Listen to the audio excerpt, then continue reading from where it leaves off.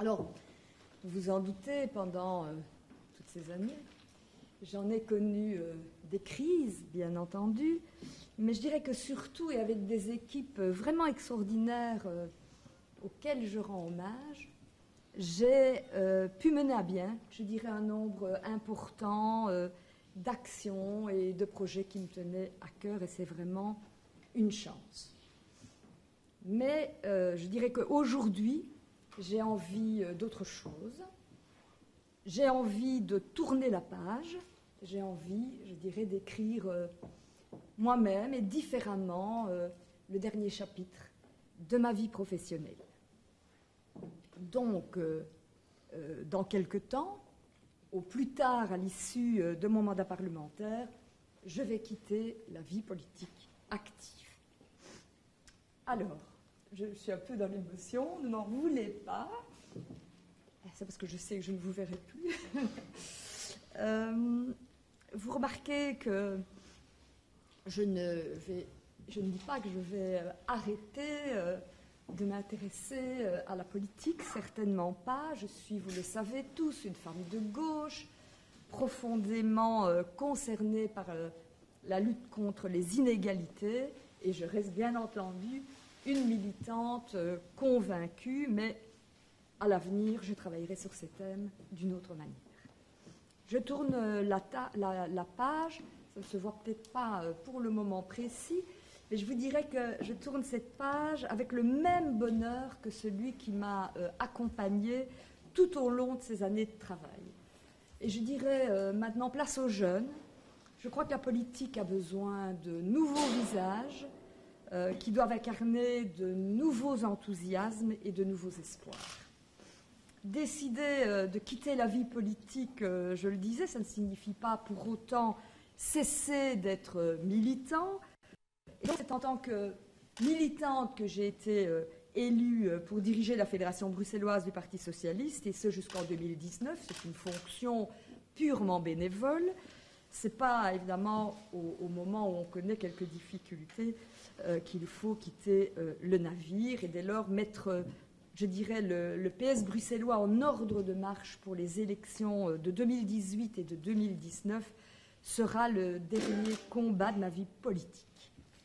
Et vous me connaissez euh, assez pour savoir que j'y mettrai bien entendu euh, tout mon enthousiasme et toute mon énergie. Alors je vous dirais que j'ai aimé, j'ai aimé euh, ce métier, même s'il demande, je sais que vous le savez, d'énormes sacrifices.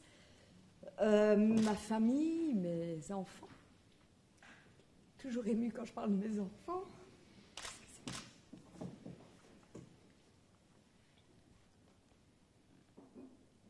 c'est embêtant. C'est vraiment embêtant.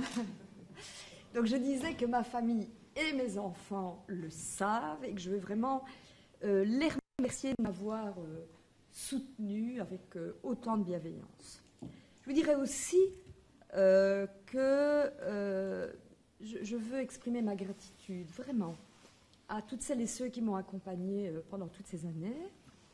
On vilipende souvent les experts, les collaborateurs, les membres de cabinet, ils sont souvent méprisés, montrés du doigt, ils sont résumés euh, la plupart du temps à une étiquette euh, politique.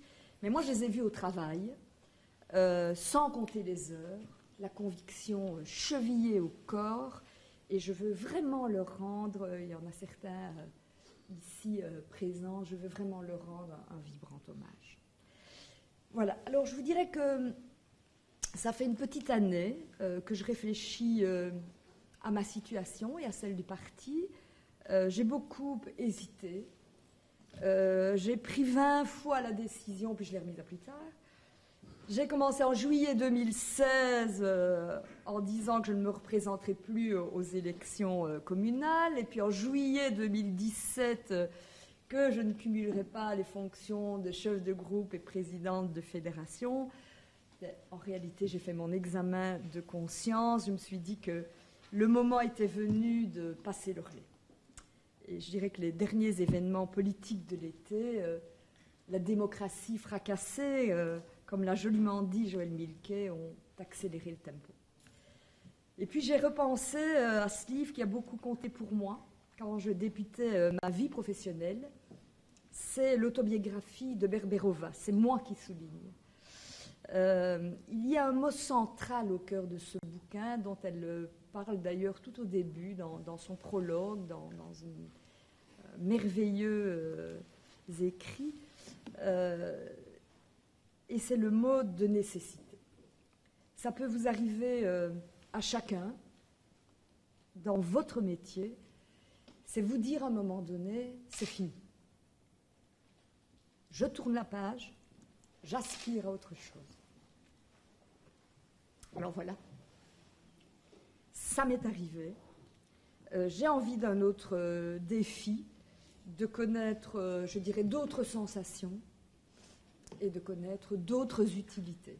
Parce que quel que soit mon avenir, j'aurais envie de continuer à servir le bien collectif. Je ne sais pas faire autre chose.